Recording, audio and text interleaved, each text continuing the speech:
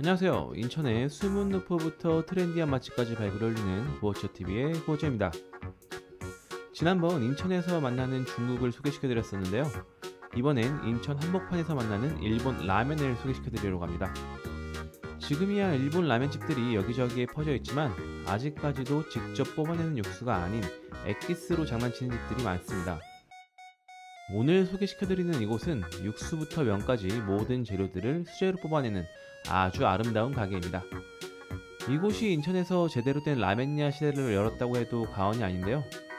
그 전에도 인천에 라멘집들이 없던 건 아니었지만 솔직히 말해서 라멘의 흉내만 냈을 뿐 여기만큼 본격적인 곳은 없었습니다. 닭 육수를 이용한 토리파이탄부터 멸치를 이용한 니보시까지 일본에서 맛볼 수 있던 라멘을 인천에서도 맛볼 수 있습니다.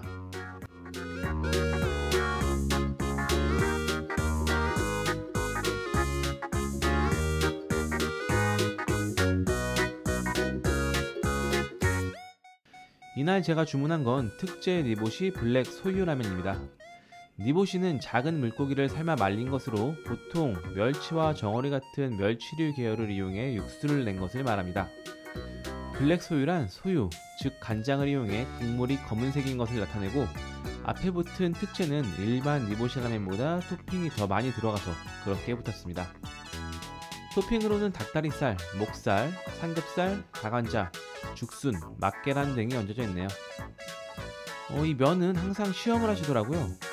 육수에 최적화된 면을 위해서 굵은 것부터 얇은 것까지 다양하게 변화를 주며 제일 적합한 면을 찾으시던데 그런 모습에서 발전할 수밖에 없는 곳이구나 라는 생각을 했습니다.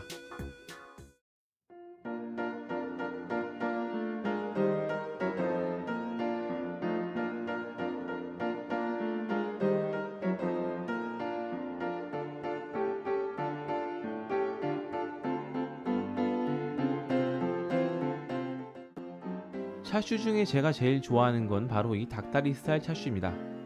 부드러운 닭다리살을 껍질까지 같이 조리해서 속은 부드럽고 겉은 쫄깃한 식감을 얻을 수 있거든요.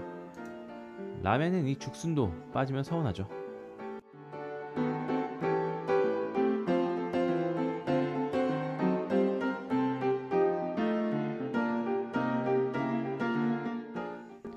그리고 직접 만드신 이 다간자가 주는 만족감은 이 집을 다시 찾을 수밖에 없게 되는 이유가 되기도 합니다.